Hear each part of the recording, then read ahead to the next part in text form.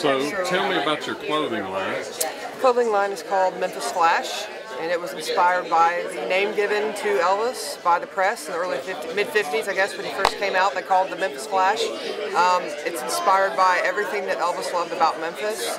So we have everything from Welcome to Memphis signs to the lightning bolt, which references Elvis. We have the, uh, the peacock stained glass T-shirts and the TCB room logos.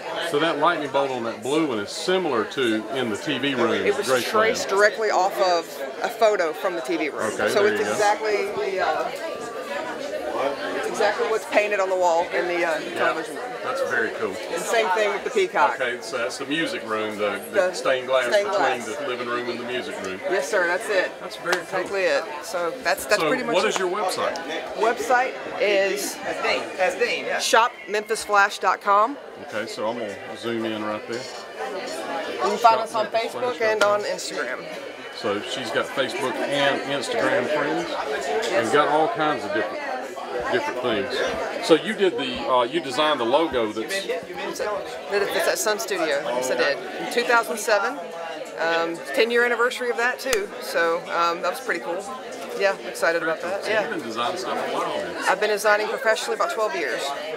So I, um, I focus a lot of my work around Memphis, Memphis music, Memphis, uh, anything that, that sheds good light on the city. I like. I'm a very big fan of Memphis. So um, that's that's the inspiration. Was just to find a, a, a way to share that passion with other people, and it's it's been amazing. I get I get orders from all over the world. Uh, it's pretty it's pretty impressive, uh, especially with the change of habit uh, sweatshirt, which is out of season at the moment, but very Ah. I see. So this is the T-shirt that Elvis wore in Change of Habit with Mary Tyler Moore, the very last movie. Right. And there's a lot of So he was a medical student or a doctor. He was a doctor Right. in that movie. So this was his. That was his alma mater. Elvis had a way of trying to pepper his movies with Memphis wherever he could, Yeah. and I thought that was a very, very, a very good move on his part in the movie to wear a, a, a Memphis University cool. Tennessee That was a great idea. uh, sweatshirt, and there's a lot of places online that offer that, but they don't have the exact one that he wore. I took a, bu- a book from John that I borrowed, about this thick, full of full color shots of Elvis in that movie, and I overlaid them on my computer, and I drew exactly what Elvis wore. So Wow. that's one of the only ones that exists that actually is the. So you're saying you do have these or don't have these? I do. You can buy them online anytime. They're thirty dollars. Amazing. That is very cool. That was a very smart idea. And Elvis used the name John Carpenter, which was his character He in this movie, he as an checked in. alias name when he was uh, flying and doing different You're stuff. absolutely right. And Priscilla said that was the name that he would have picked out for Lisa had she been a boy, John.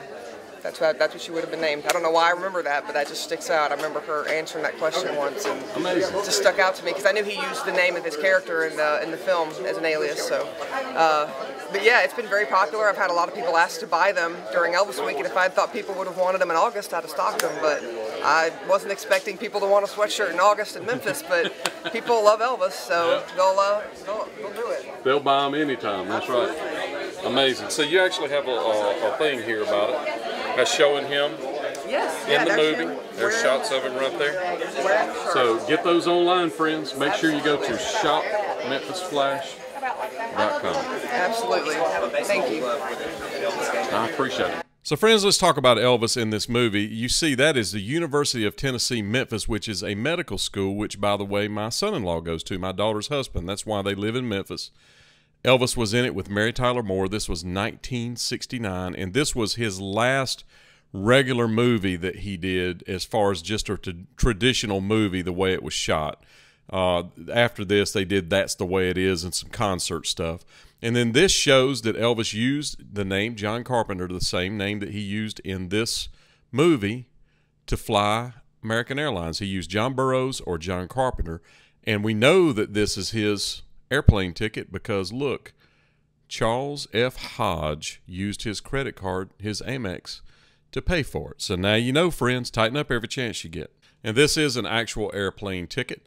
By the way, support Beth and order some t shirts and sweatshirts. Go to the website now.